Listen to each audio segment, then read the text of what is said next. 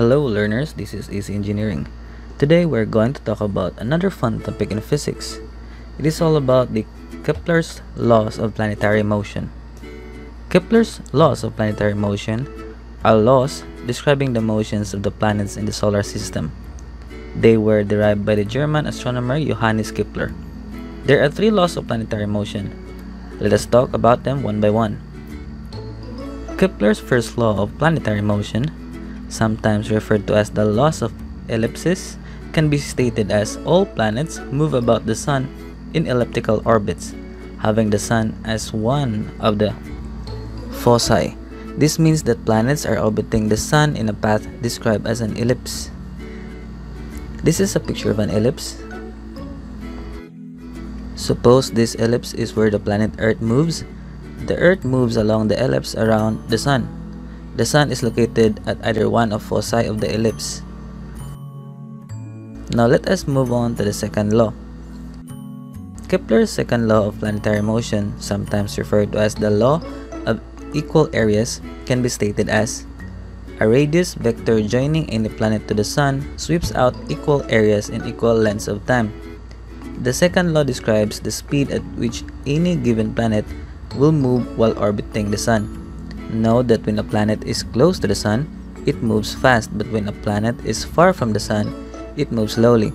So if we draw an imaginary line of the movement of the planet and the Sun for every month of the year, we can see that when the planet is close to the Sun, it will form a wide but short triangle. And when the planet is far from the Sun,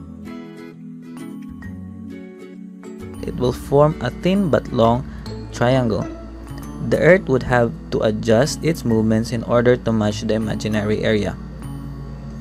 Did you know that the knowledge of Kepler's second law has proved importance of Newton's law of gravitation? Newton showed that the motion of bodies subject to central gravitational force does not always follow the elliptical orbits as specified by the first law of Kepler, but instead, planets or other heavenly bodies can take paths defined by other open conic curves. Amazing, right? Now let us move on to the Kepler's planetary motion, sometimes referred to as the law of harmonies, can be stated as the squares of the sidereal periods of the planets are directly proportional to the cubes of their mean distances from the Sun. It compares the orbital period and radius of orbit of a planet to those of other planets.